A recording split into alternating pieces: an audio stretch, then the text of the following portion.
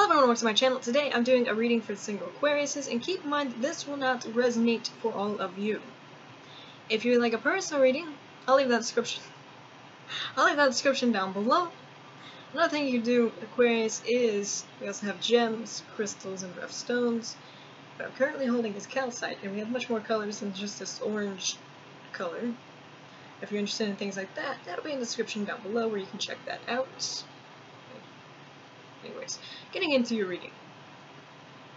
On the bottom of the deck, for the overall energy, for your current situation, we have the Ten of Wands. So what is burdening you here, Aquarius? Is it a person in your life that's currently there, or, or what? You feel burdened. Ten of Wands. It can also be you working hard as well, Aquarius.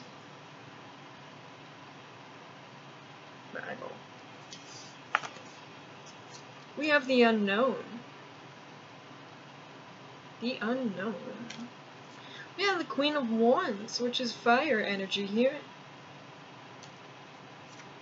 We have Judgment. Judgment. Page of Wands. Eight of Cups. So who's who are you walking away from or who's walking away from you just for them to return? Fire sign because that's what's I put this two ways. Either you walked away from someone and they're returning to you, or you, like they walked away from you just to return back to you.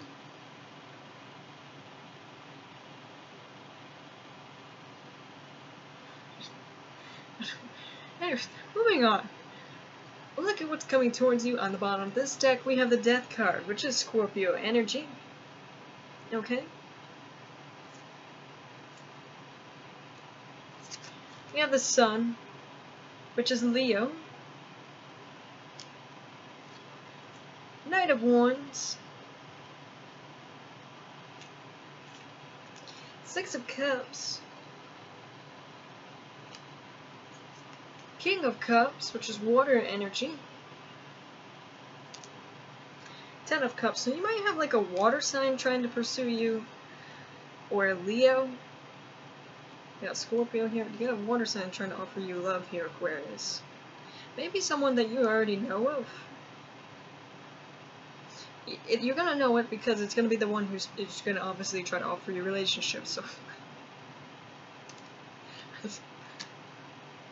reason why I'm laughing is because people often question, well, how do I know who this person is? Well, it's the one who's trying to pursue you, obviously.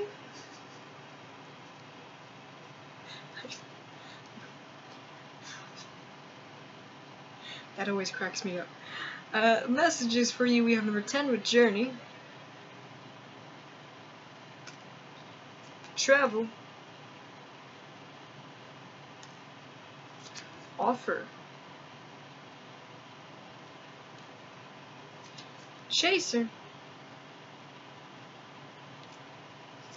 Fear. Healing family issues. Honeymoon. Chemistry.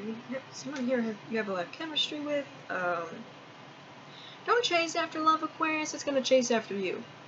Big message for you. Don't chase after anyone. Don't chase after love. You're going to have people chasing after you. People wanting you. Um, can be some travels or opportunities for travels up ahead for you. Maybe